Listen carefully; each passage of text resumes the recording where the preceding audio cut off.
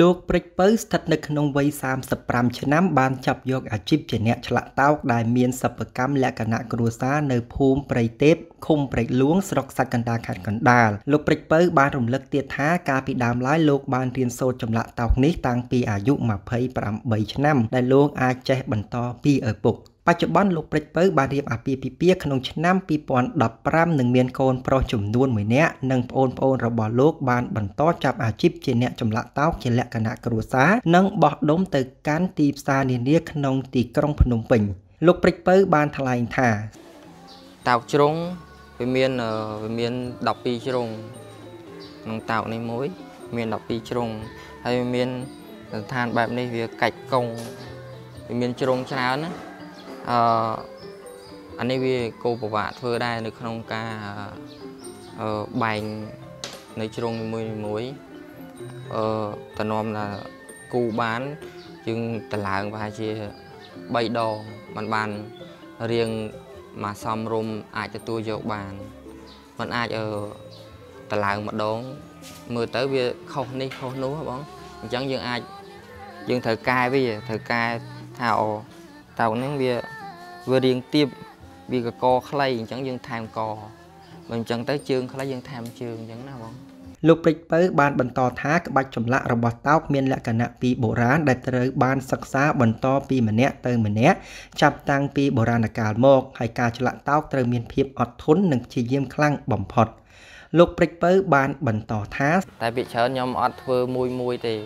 ខ្ញុំដូចថាខ្ញុំតម្រូវការភ្ញៀវគេ កំង20កំង30អញ្ចឹងខ្ញុំធ្វើឲ្យគេបោះឲ្យគ្រប់20បានខ្ញុំចាប់ផ្ដើមតឡើងមួយវគ្គមួយវគ្គថាយើងបោះស្មាច់20ហើយទៅបានយើងចាប់ផ្ដើមយកមកកាត់កាត់យកមកឆាបខាត់ហើយយើងបិទក្តារបិទក្តារហើយយើងបៀកបៀកហើយយើងកែសម្រួលតាមតាមក្បាច់ដែលវារៀងស្អុយស្អុយខ្លះបងយើងសម្រួលវារួចទៅបានយើងចាប់ផ្ដើមកលែងកាវបាញ់ថ្នាំបាញ់ថ្នាំហើយបានយកទៅបិទមាស លោកព្រិចពៅបានបញ្ជាក់ទៀតថាការឆ្លាក់តោកនេះត្រូវមានភាពអំណត់ធន់ណាស់ដោយប្រើកម្លាំងកាយនិងប្រាជ្ញា ការគិតបូកផ្សំជាមួយនឹងការឆ្លៀសវៃចិត្តផ្ចង់ពីក្បាច់ចម្លាក់មួយទៅក្បាច់ចម្លាក់មួយទៀតការប្រើប្រាស់ឧបករណ៍ជំនួយមានច្រើនទៅតាមក្បាច់និងទំហំនៃតោកនីមួយៗលោកបានប្រាប់ថាគាត់ស្រឡាញ់របស់អញ្ចឹងអញ្ចឹងហ្មងគាត់ទៅយកទៅរៀបចំក្នុងផ្ទះគាត់ផ្ទាល់តែម្ដងបាទហ្នឹងមានពីរប្រភេទហ្នឹងហើយអឺមួយទៀតមាន ខាងប្រសងដែរ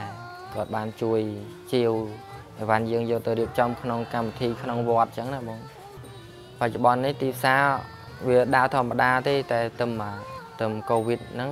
វារៀងស្ងាត់មិនសូវមានខាងគេកំងអញ្ចឹង